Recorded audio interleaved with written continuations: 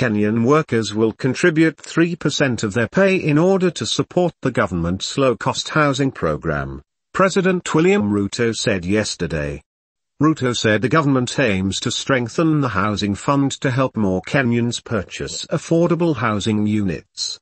However, Ruto did not tell whether legislation would be introduced to compel workers and their employers to pay for the housing fund.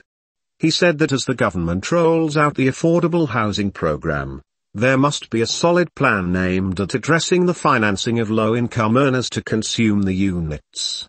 The president spoke when he officially opened the Friends Church, Quakers, Donholm, Nairobi County. As a government, we will be at the forefront in implementing this. For all employees of the government, approximately 700,000, we will be saving 3% for them after they have made their own 3% contribution, Ruto announced.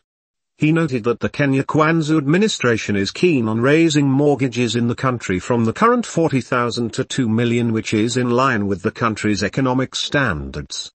Tuko na housing fund ambayo tunataka kila Mkenya a contribute pesa kidogo 3% of your income 3% of your salary. Kama unapata shilingi elfu kumi 3% ni shilingi mia tatu kila mwezi uweke katika hiyo hazina. Pale mbele utakuwa tutakusaidia vile utanunua nyumba. Tutaanza kama serikali all employees of government. Wale wafanyikazi wetu ambao tuko nao karibu elfu mia saba.